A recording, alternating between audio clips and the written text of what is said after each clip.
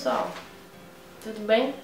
Para quem me acompanha nas redes sociais, soube que eu tô passando por um período meio difícil, tanto emocionalmente quanto fisicamente.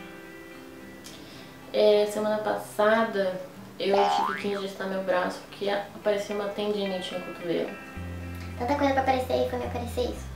E aí eu fiquei uma semana sem desenhar, uma semana sem fazer nada. E isso é a pior coisa que se pode acontecer para um artista quando não tá naquela fase legal.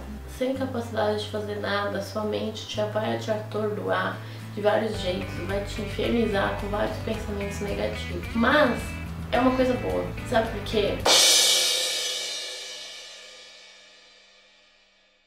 Porque como você não está mais exercitando o que você costumava fazer da sua rotina, você teve que quebrar essa rotina, você teve que fazer outras coisas que você não estava acostumada, o seu cérebro funciona de um jeito diferente, seu lado inconsciente funciona de outro jeito diferente.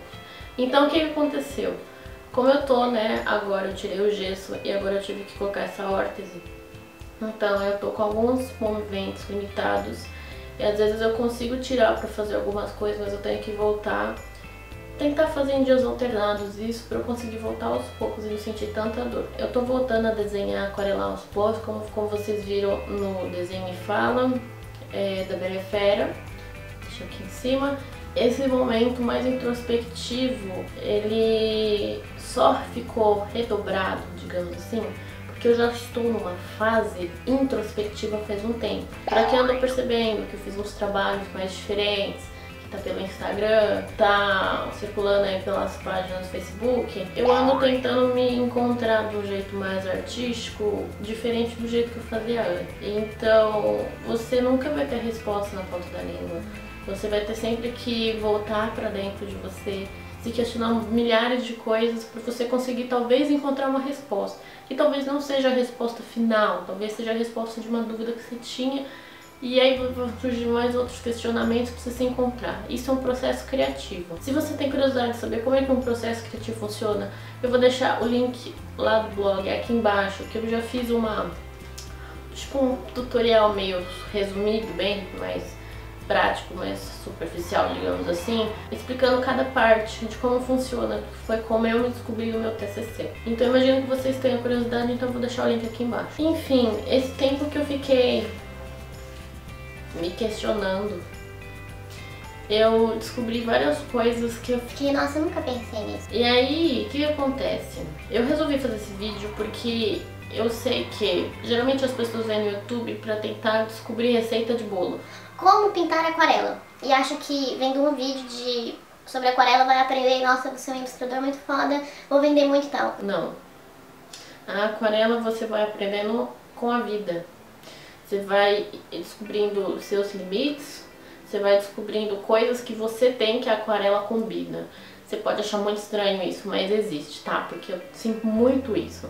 E isso serve também para as outras técnicas. E a gente sabe que no Brasil, pelo menos, a arte não é valorizada como deveria ser valorizada. E aí eu pensei, por que não fazer um vídeo explicando o que, que a arte trouxe pra mim, de muito tempo trabalhando com ela, em tudo que eu faço, o que, que eu poderia explicar, contar para as pessoas do que, que ela me ajudou desde os meus 11 anos, aos meus 8 anos de idade, agora com 23.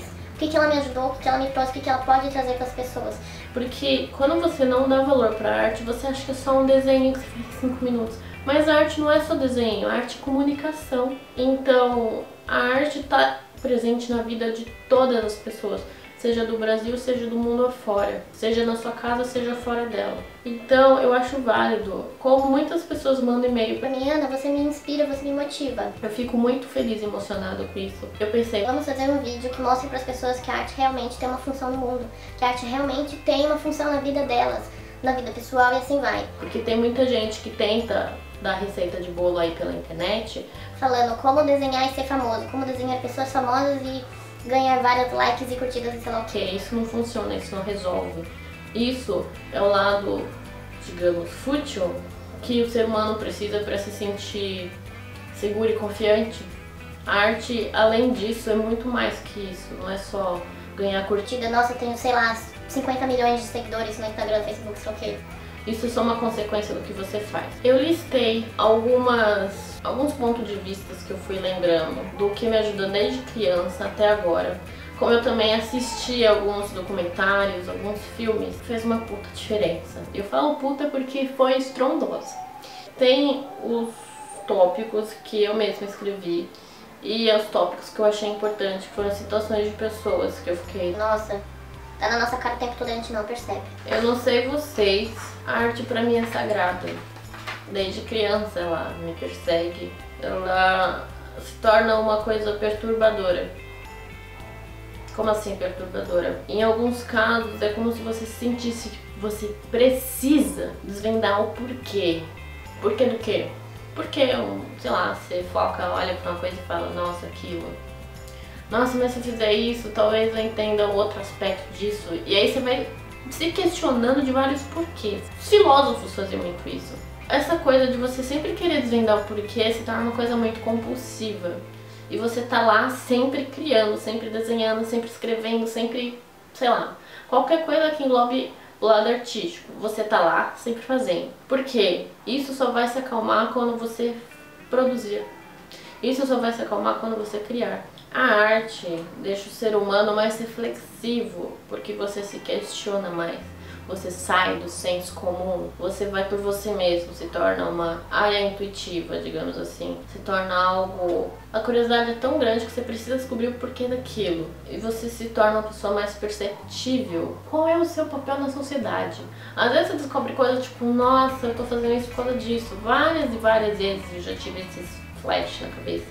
Várias e várias vezes eu falo, nossa, se eu não tivesse feito isso, não tinha acordado a pessoa lá na frente para o que ela estava precisando, sabe? É no geral, é o que a arte faz com as pessoas, é o que a arte faz comigo. A arte, ele é um processo de comunicar. Não tem como, o ser humano precisa botar para fora o que ele vê, o que ele sente, o que ele absorve. Ele vai tentar fazer isso de qualquer jeito. Os homens das cavernas já faziam isso há muito tempo. Eles desenhavam no, na, na parede, no teto. Os egípcios sempre faziam isso, só que eles faziam do jeito deles o rostinho de lado e o corpinho de frente. Era uma característica deles, era um estilo deles, o processo criativo deles significava algo para eles, tinha uma poética. Te ajuda a ampliar o olhar do mundo. Seja de onde você vive, seja do jeito que você encara as pessoas, seja do jeito que você encara a sociedade. Seja do jeito que você encara um tema no geral. Eu sempre tive uma imensa dificuldade, desde criança, de me enturmar com as pessoas. Porque o jeito que eu encarava o mundo, as pessoas, os temas que elas abordavam, eu sempre achei que eu era de outra época, porque não fazia sentido. Enquanto as criancinhas lá, nos seus 15 anos, achava muito legal ficar competindo de quantas pessoas eu fiquei. Eu ficava assim, eu ficava, gente, grande bosta, quantas pessoas eu vou ficar, isso não vai me trazer, não vai, me levar nada. Então, eu já pensava de um jeito diferente quando eu era criança. Porque eu acho que assim, a arte te ajuda a ser mais reflexivo, perceptivo com as coisas do mundo. Você já fica mais aberto a novas, a novas coisas do mundo da vida. E isso deixa você ter uma sensibilidade maior. E aí você vê as coisas fora do quadrado. Na escola eles falam que é certo e errado. Mas não precisa ser, porque não pode ser assim. A gente já se questiona antes mesmo de colocar que aquilo pra gente é errado ou é certo. Eu sempre achei isso muito bacana, eu nunca entendi porquê, mas sempre foi uma coisa muito intuitiva pra mim. Quando eu ouvi, eu já tava fazendo. A arte ajuda a expressar com seu próprio eu. Isso é o que? Quando você se interioriza, você não tá conversando com as pessoas de fora, você tá conversando com você. Você tá encontrando uma forma de conversar só com você, com você aqui dentro, não com as pessoas de fora. Você tá com você. Você se interioriza. Você consegue ter a sua própria intimidade. Você e você. Você até esquece do mundo. Quando, por exemplo, eu tô aquarelando, eu fico horas só naquilo eu esqueço o mundo de fora. Passou, sei lá, seis horas aquarelando. Pra mim passou tipo duas horas. Não parece que passou seis.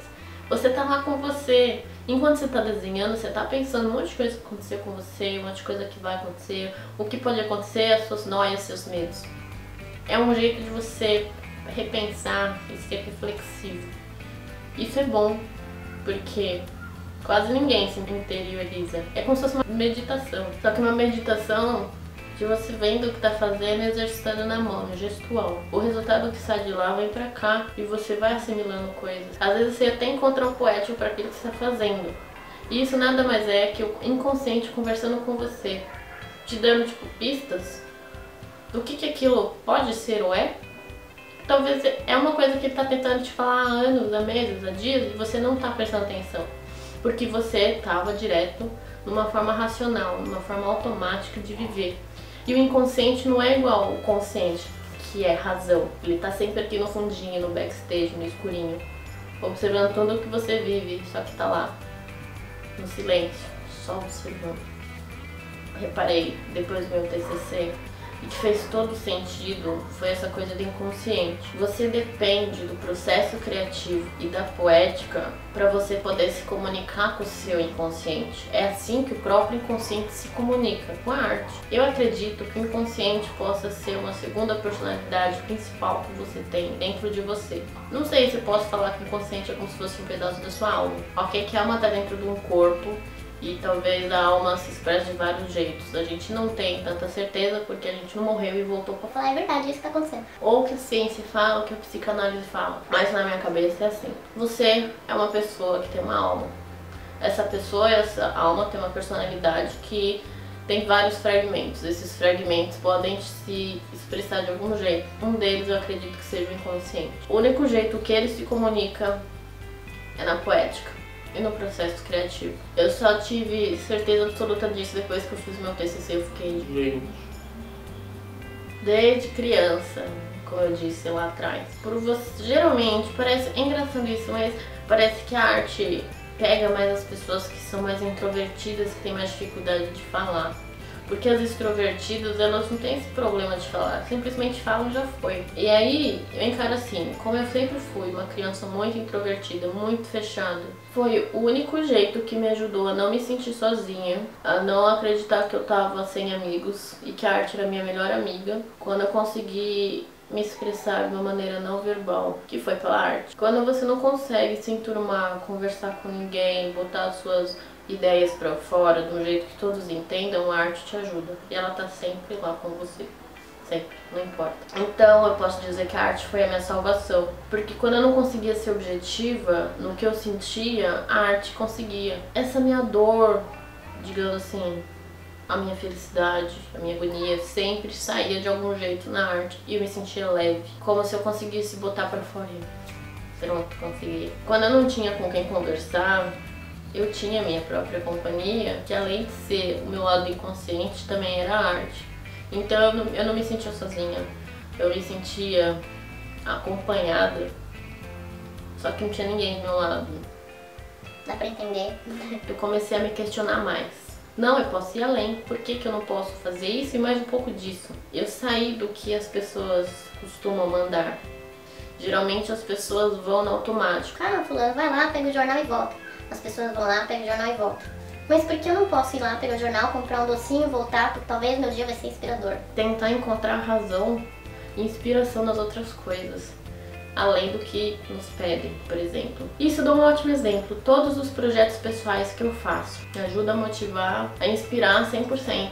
Que eu consigo identificar os meus limites e consigo identificar como que eu, vai ser meu processo criativo. Mesmo que o projeto comece com 15 e termine com 2 eu não me importo, porque, nossa, eu consegui alcançar uma meta, eu consegui me desdobrar no meio desse processo todo e eu consegui sair do comum, fazer coisas além do que era instruído. E a arte ajuda você a se desconstruir para você construir uma coisa melhor. Eu aprendi meus limites, que foi também nos projetos pessoais. E aqui tem duas citações que eu acho que são muito relevantes que eu achei muito legal quando eu assisti. Eu vou deixar o link delas aqui embaixo na descrição se vocês quiserem assistir também. Primeiro foi a poeta Matilda Campilho. A arte serve para fazer os joelhos fraquejar quando é preciso, tirar a atenção da dor em alguns momentos, em algumas vezes levar a atenção para a dor. Citação do Alain Botton: A arte serve para rehumanizar o inumano. E a arte faz nos sentir em casa. É uma verdade absurda essa. Nos lugares mais inóspitos. uma coisa que eu sempre reparei, quando eu vou criar, eu posso até estar tá ouvindo música, mas tem momentos que eu preciso estar no silêncio absoluto. Parece que é como eu vou conseguir organizar todas as minhas ideias. E é assim o jeito que mais funciona, é como se você tivesse uma paz interior junto com a sua amiga, a arte, que tá aqui do lado invisivelmente, e você não vê, mas você sente. E você se sente hiper mega confortável com ela nos lugares que é um silêncio absoluto. Sabe por quê? Muitas pessoas têm uma dificuldade enorme de lidar com silêncio. Por isso que tem algumas pessoas que não conseguem fazer meditação, porque é silêncio, um silêncio tão absoluto você precisa manter uma certa concentração, uma certa disciplina para você conseguir lidar com ele. E depois que você lida com ele, você esquece, você deixa fluir. E para finalizar, para mim, se eu não faço nada voltado para arte, me traz angústia. Por isso que eu tô em constante criação. Vocês também devem concordar com isso, para quem é artista e se sente assim. O vídeo de hoje foi isso. Espero que talvez tenham trazido uma reflexão para vocês. Porque quando vem esse momento ruim, é bom também porque você fica introspectivo, você tem contato com o consciente, você consegue refletir essas coisas. E eu acredito que isso seja muito bom para a evolução do ser humano no geral. Espero que vocês tenham gostado, espero que vocês possam ter refletido. E vamos ver qual vai ser o próximo vídeo do canal. Tchau!